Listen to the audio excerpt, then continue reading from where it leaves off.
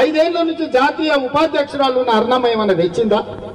ఇంకా కొత్తగా ఏం చేస్తారు ఇవాళ మనకు అవకాశం వచ్చిన ఎంబడే ఐదు వేల కోట్ల రూపాయలు తీసుకొచ్చి కోస్గిలో లక్ష మందితో సభ పెట్టి రాష్ట్రంలో ఉన్న మంత్రులందరినీ కొడంగల్కు కోస్గికి రప్పించి శిలాఫలకాలు వేసి ఇవాళ అభివృద్ధి పనులు చేపట్టినమా లేదా ఆలోచన చేసి ఊరూరు సందు సందు రోడ్ వేసే బాధ్యత మనం తీసుకున్నాం. మూడు వేల ఐదు వందల ఇందిరమ్మ ఇల్లు ఎంబడే పేదోళ్ళకి ఇచ్చడానికి ఇలా జీవో ఇచ్చినాం. నాలుగు లక్షల యాభై వేల ఇల్లు ఇరవై రెండు వేల ఐదు వందల కోట్ల రూపాయలు కేటాయించి రాష్ట్రమంతా పేదోళ్ళకు ప్రతి ఇంటికి ఐదు లక్షల రూపాయలు ఇల్లు కట్టుకోనికే ఇవాళ ఇచ్చిన మాట వాస్తవం కాదా? ఒక్క కొడంగల్లో నేను నలభై కోట్ల రూపాయలకు సీసీ రోడ్లు ఇచ్చినాం. డబల్ రోడ్లు ఇచ్చినాం. ప్రతి తండాకు రోడ్లు ఇచ్చినాం. దాదాపుగా ఏడెనిమిది వందల కోట్ల రూపాయలు వంద రోజుల్లో కొడంగల్లో రోడ్ల కోసం ఇచ్చిన మాట వాస్తవం కదా? మళ్ళా వందేళ్ళైనా ఇన్ని నిధులు ఎవడన్నా తెస్తాడా? ఇలా కేవలం ఓడిచ్చుర్రి ఎట్లనే వేసి రేవంత్ రెడ్డి పరపతి తగ్గియాలంటే కొడంగల మెజార్టీ తగ్గియాలి లేకపోతే రేవంత్ రెడ్డిని దెబ్బతీయాలి దొంగ దెబ్బ తీయాలని ఎంతంగా ఎంతంగా గూడుపుటాన్ని చేస్తుంది ఇది రేవంత్ రెడ్డిని దెబ్బతీయడం కాదు కొడంగల్ ప్రతిష్టను దెబ్బతీయడం కొడంగల్ అభివృద్ధిని దెబ్బతీయడం కొడంగల్ ఆత్మగౌరవాన్ని దెబ్బతీయడం కొడంగల్కు జరిగే భవిష్యత్తులో జరగబోయే అభివృద్ధిని అడ్డుకోవడము ఒకవేళ ఏదైనా తప్పిదం జరిగితే కృష్ణా వికారాబాద్ రైల్వే లైన్ రాకుండా పోతే కొడంగల్లో వచ్చే సిమెంట్ ఫ్యాక్టరీ రాకుండా పోతే నారాయణపేట కొడంగల్ ఎత్తిపోతల పథకం ఆగిపోతే పాలమూరు రంగారెడ్డి ఎత్తిపోతల పథకానికి జాతీయ ప్రాజెక్టు రాకుండా పోతే ఇవన్నీ నష్టాలు జరుగుతాయి మిత్రులారా. అందుకే ఈయనకు వచ్చిన ప్రతి కార్యకర్తకు నేను ఎక్కడున్నా నా గుండె చప్పుడు కొడంగలే నేను ఏ ఏ స్థాయికి ఎదిగినా చాలా మంది ఓడిపోయిన తర్వాత రేవంత్ రెడ్డి మళ్ళీ రాడు. పట్నం వంక చూసుకుంటాడు ఎల్బీ నగర్ పోటీ చేస్తాడే మా మిత్రులు మా మీడియా మిత్రులు. సార్ ఎల్బీ నగర్ పోతాడు సార్ షాద్ నగర్ పోతాడన్న.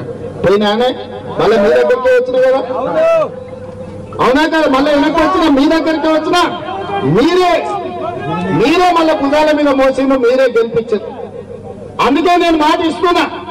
ఈ కొడంగల్ మొత్తం దేశంలోనే ఆదర్శవంతమైన నియోజకవర్గంగా అభివృద్ధి చేసి ఇక్కడ ఫ్యాక్టరీలు తెచ్చి ఇక్కడ నిరుద్యోగులకు ఉద్యోగాలు ఇచ్చి అభివృద్ధి అంటే కొడంగల్ లాగా ఉండాలి. కార్యకర్తలు అంటే కొడంగల్ కార్యకర్తలను చూసి దేశమంతా నేర్చుకోవాలనే విధంగా ఇవాళ ప్రయత్నం చేస్తున్నాం. నేను మిమ్మల్ని అందరినీ వీళ్ళందరూ రూమ్లో ఉమ్మరిస్తుంది శబ్దం పెడుతుందని అనుకుంటూ నేను అనుకున్న చాలా రోజులకు మా వాళ్ళు మా కుటుంబ సభ్యులు అందరినీ గంటల కొద్ది కూర్చొని అందరితో కలిసి మాట్లాడినా ఇన్ని రోజులు నాకు సరిగ్గా నిద్ర పట్టలేదు ఇవాళ రాత్రికి కంటి నిండా నాకు నిద్ర పట్టలేదు ఎందుకంటే నా కోసం కష్టపడ్డ వాళ్ళందరినీ నేను కలుసుకున్నాను సంతోషం నాకుంది. అందుకే ఎన్ని గంటలైనా ఎంతసేపు అయినా ఎవరు ఏది చెప్పినా నాతోని కొట్లాడి స్వతంత్రం మీకుంది.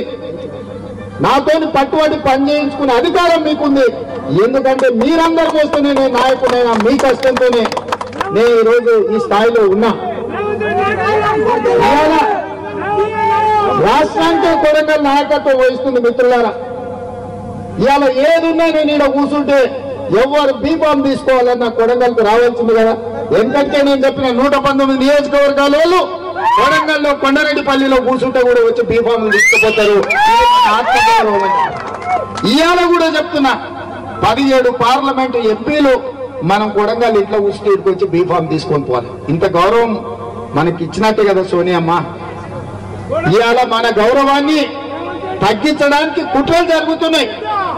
మనల్ని దెబ్బతీయడానికి పన్నాగాలు పన్నుతున్నారు వీటన్నిటిని దృష్టిలో పెట్టుకోండి. ఎవరేమి దేరు ఇన్నేళ్ళు చూసిండ్రు అర్ణమ్మ మంత్రి ఉన్నప్పుడు చూసిను టిఆర్ఎస్ అధికారంలో ఉన్నప్పుడు చూసిరు నరేంద్ర మోడీని ప్రధానమంత్రిగా చూసారు పదేళ్ళు. పదేళ్ళలో పది పైసలు కూడా మనకి ఇవ్వలేదు మనం సచ్చినమా బతికినమా అని మనల్ని ఎవరు అడగలేదు వంద రోజుల్లో సోనియమ్మ ఇందిరమ్మ రాజ్యం వస్తే సోనియమ్మ నాయకత్వంలో కొడంగల్కు ఐదు వేల కోట్ల రూపాయల అభివృద్ధికి వచ్చినాయి. ఇవాళ అన్ని కాలేజీలు వచ్చినాయి అన్ని ఫ్యాక్టరీలు వస్తున్నాయి. అన్ని కొడంగల్కు శుభ సూచకం. ఇవాళ మీటింగ్ వచ్చిన వాళ్ళు రానోళ్ళకి అందరికీ నేను విజ్ఞప్తి చేస్తున్నా ఈ ఎన్నికల్లో కొడంగల్ అసెంబ్లీ నుంచి పార్లమెంట్కు యాభై వేల మెజారిటీ ఇచ్చి ఎవరి కుట్రలు కుతంత్రాలు కొడంగల్ ప్రజలు సహించరు తిప్పి కొడతారని ఇవాళ మనందరం కూడా ప్రతిన బూనాల్సిన అవసరం ఉన్నది. మీరందరూ యాభై వేల మెజార్ తెప్పించడానికి సిద్ధంగా ఉన్నారు కదా? ఉన్నారా? మా మీడియా సోదరులు కూడా చెప్పాలి ఎందుకంటే ఇది మన ప్రాంతం మీరు కూడా ఇక్కడ బిడ్డలు. ఈయన జరిగే ప్రతి అభివృద్ధి మీకు కూడా వస్తుంది. మీ తల్లిదండ్రులు కష్టపడి ఈ ప్రాంతంలో కష్టాలు చూసిండ్రు. ఇవాళ మన కష్టాలు తీరే సమయం వచ్చింది. మీ అందరి సహకారం ఉండాల్సిందిగా కోరుకుంటూ అందరి సమస్యలు పరిష్కరించే బాధ్యత నాది. రాష్ట్రానికి నాయకత్వం వహించమని సోనియమ్మ మల్లికార్జున ఖర్గే గారు నాకు ఆదేశాలు ఇచ్చిండ్రు. ఎక్కడున్నా కూడా నా గుండె చప్పుడు కొడంగల్ అని చెప్పి మళ్ళొకసారి మీ అందరు తెలియజేస్తూ మీ అందరి దగ్గర సెలవు తీసుకున్నా జై కాంగ్రెస్! జై కాంగ్రెస్! జై కాంగ్రెస్!